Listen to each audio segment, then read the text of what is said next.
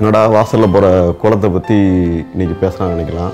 அம்மா வாசலில் போட்ட அந்த கோலத்தோடு தான் இன்ஸ்பயர் ஆகி இன்றைக்கி நான் வளர்ந்துருக்கேன் உலக அளவில் பேச அளவுக்குரிய ஆளாக வளர்ந்துருக்கேன் நான். இதுதான் இன்றைக்கி இன்றைக்கி இன்ஸ்பிரேஷன் ஸ்டோரியில் பார்க்க போகிறீங்க மறக்காமல் இன்ஸ்பிரேஷன் ஸ்டோரிஸ் பாருங்கள்